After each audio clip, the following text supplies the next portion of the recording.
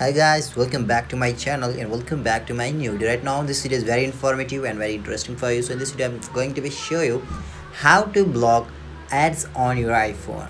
So when you want to open some things on your iphone then you will face Uh, ad is available on your iphone. So how we can block and how we can stop ads on my iphone. So this video i'm going to show you. So before starting the video it's humble request you to watch my video completely until the end. And if you're new in my channel then please don't forget to subscribe my channel if my video is informative for you. So without wasting any time let's get started the video. First of all go to your setting. And once you go to your setting then here you have to tap on the screen time options. And once you tap on this then you have to tap on the content and privacy restrictions if your content and privacy restriction restriction option toggle option is turned off so here what you have to do turn on it again.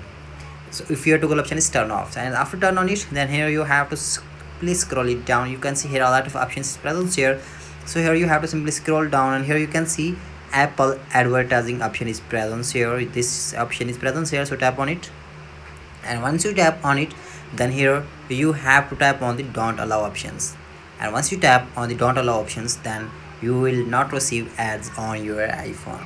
So here tap on the don't allow options. And once you have done this then you have to go back to the home screen and check that your problem has been fixed or not.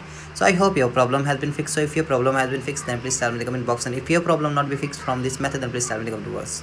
And don't forget to subscribe my channel. So I hope this helped. Thanks for your time today and i will see you on the next one